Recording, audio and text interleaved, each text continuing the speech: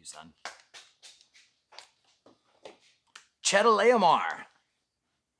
No, it's not a cheese. It's a king. We get to get to him today. So let's check this out.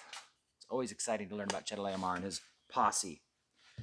And it came to pass in the days of Amraphel, king of Shinar, Arioch, king of Elasar, Chedorlaomer, king of Elam, and Tidal, king of nations, that they made war with Bera, king of Sodom, Birsha of Gomorrah, Shinab, king of Admah, Shemeber, king of Zeboim, and the king of Bela, that is Zoar. I know this is all review for you guys. Most of these names we have memorized since childhood. All these joined together in the valley of Siddim, that is the Salt Sea. In 12 years they served Chedorlaomer. In the 13th year they rebelled. In the 14th year, Chedorlaomer and the kings that were with him came and attacked the Rephaim in Ashteroth Karnaim, the Zuzim in Ham, the Emim in Shaveh Kiriathaim. Now, whew, oh, let's go to six.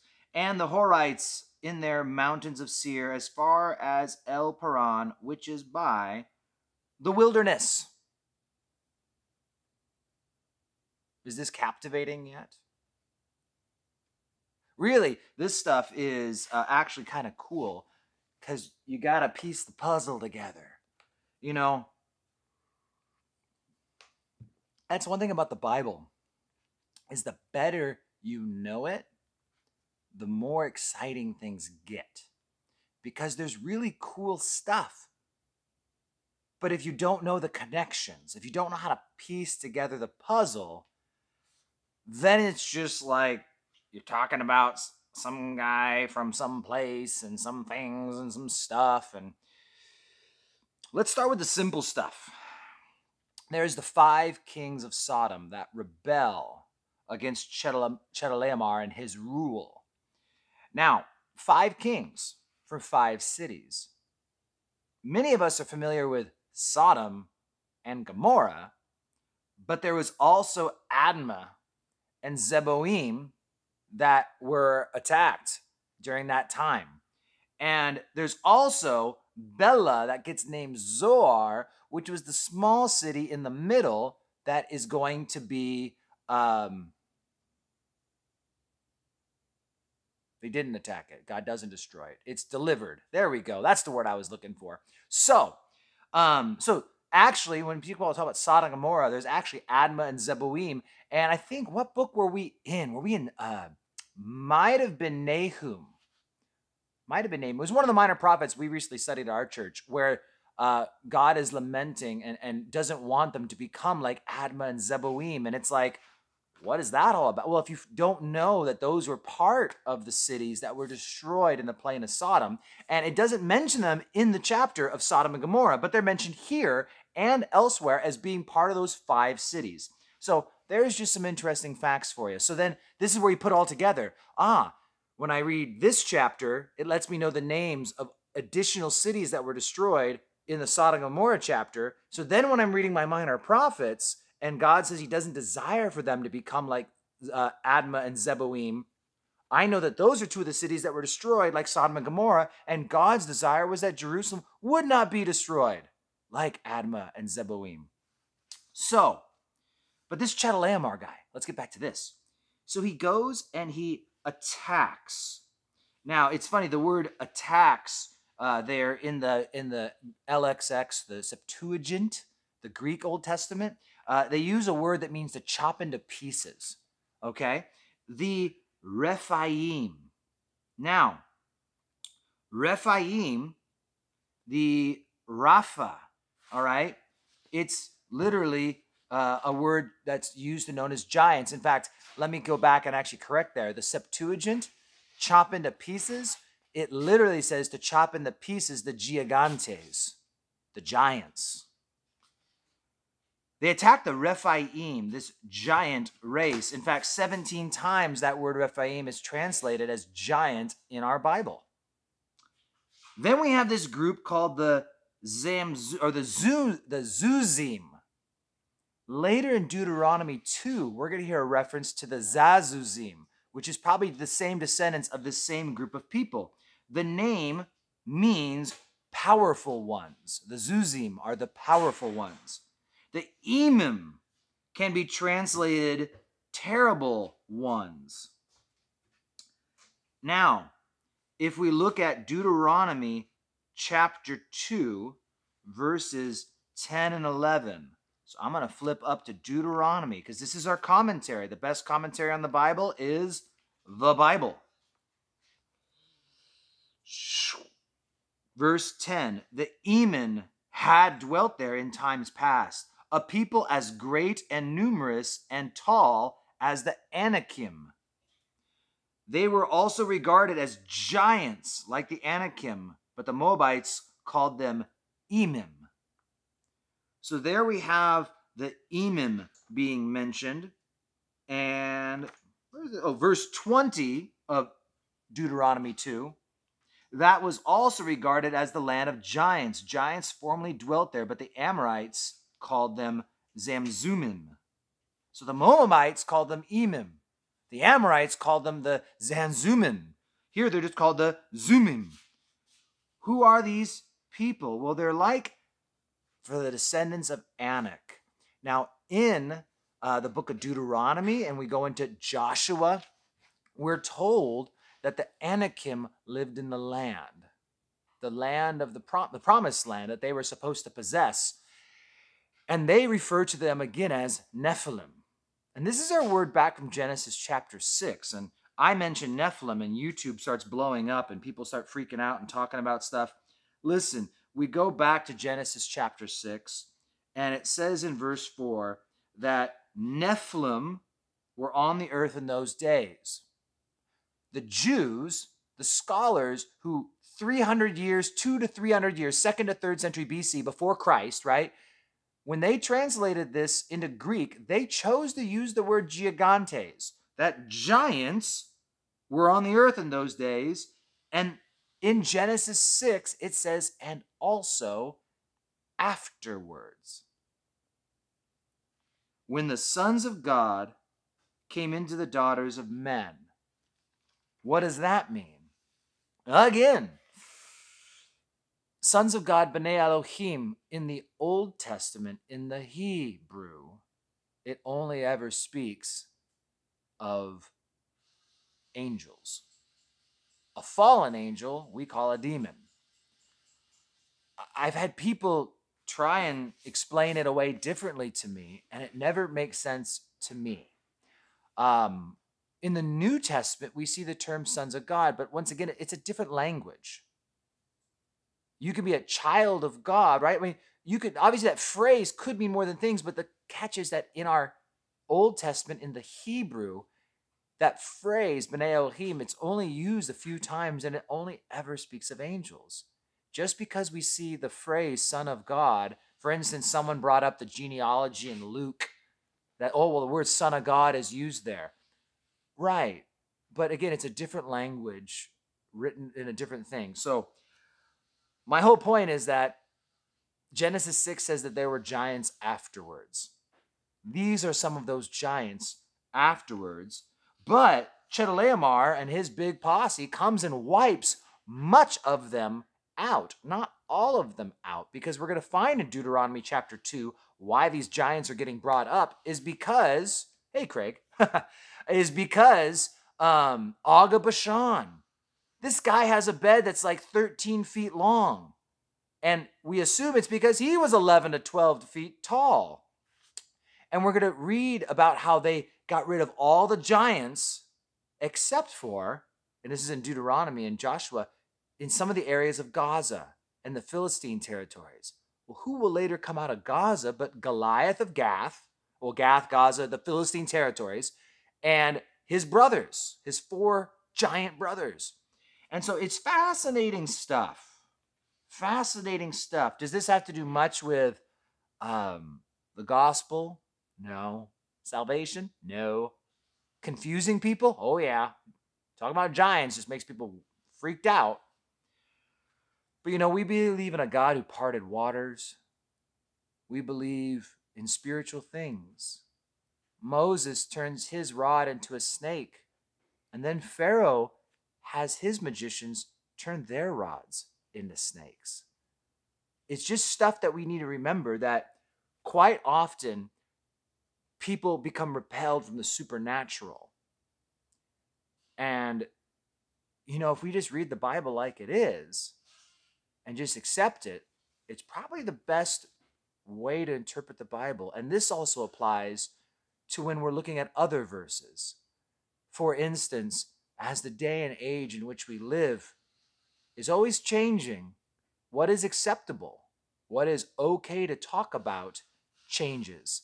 And so people, again, try and change the Bible to what is more acceptable and easier to swallow.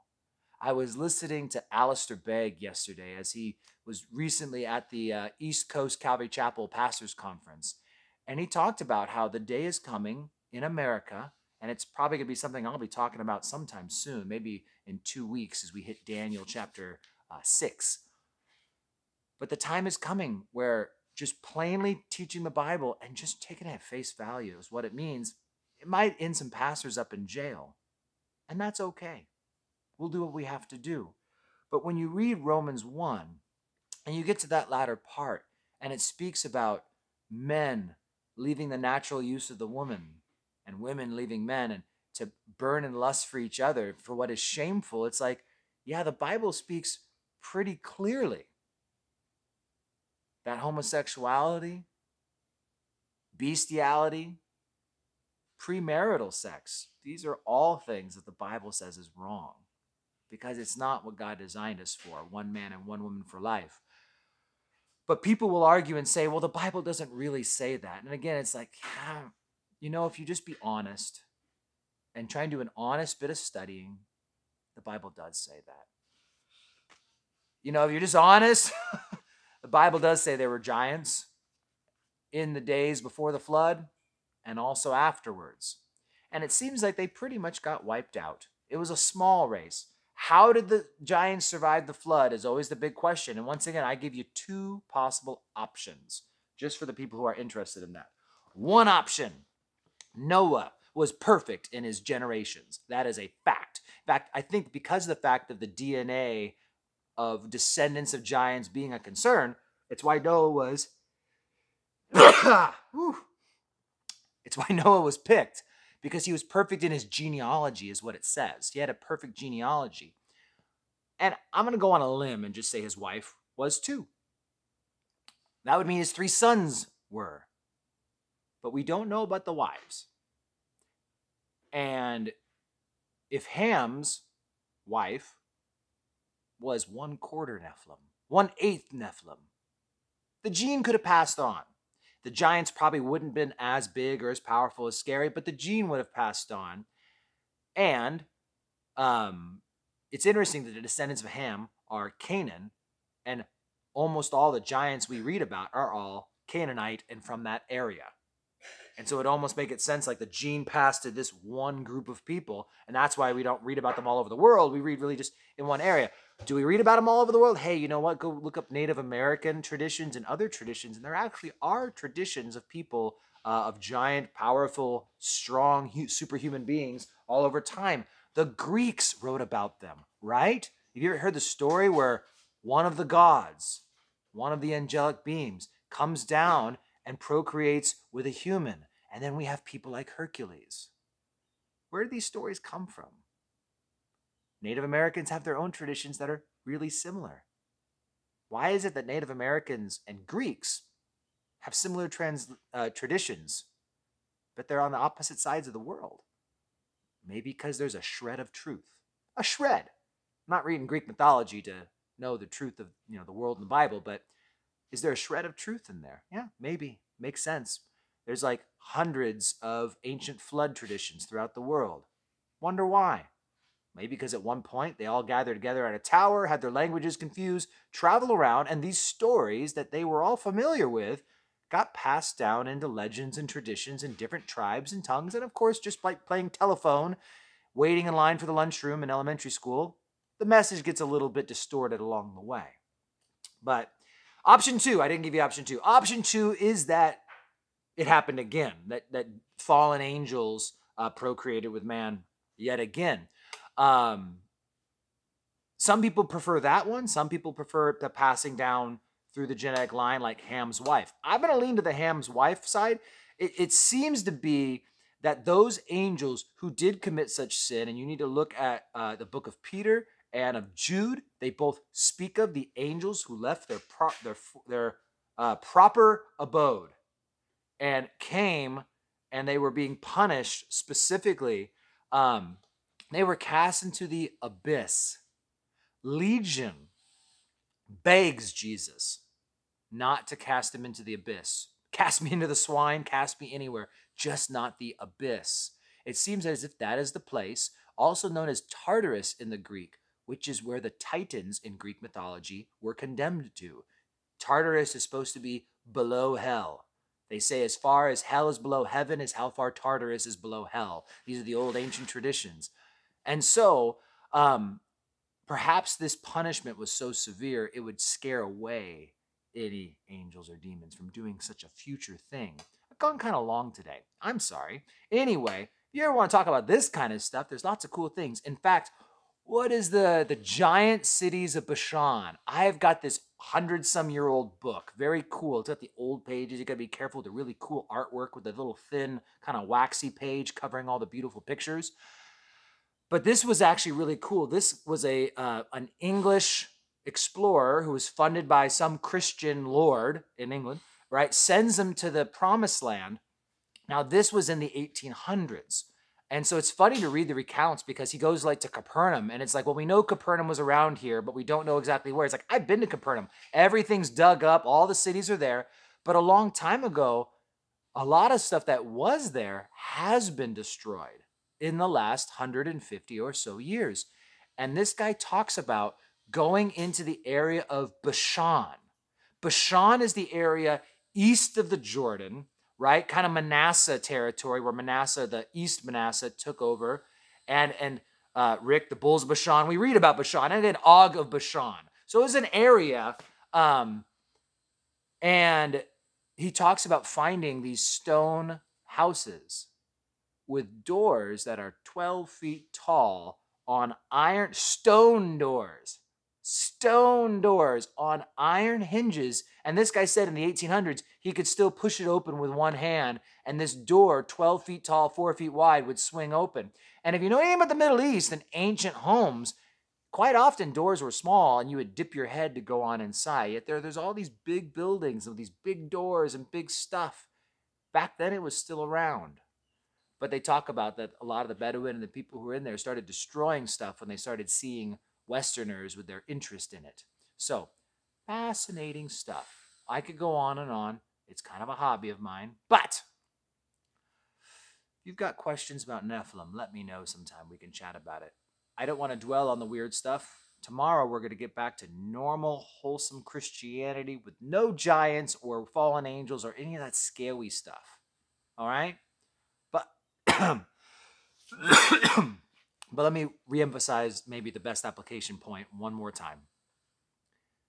We must train ourselves to read the Bible, to learn to interpret the Bible in the most logical, literal, historical, grammatical method we can, where we, we understand there is poetry, but unless it demands to be poetry, we take it literally. And no matter how big the pill is, we learn to swallow it even when it's weird, even when it challenges my beliefs, my temptations, my addictions, even when it challenges the personality. Well, I was just born that way. Well, maybe God wants to deliver you. and so, learning to do that is important. And that's something we can glean from all this. So, there you go. God bless you guys. Have an amazing day. And I will see you guys mañana.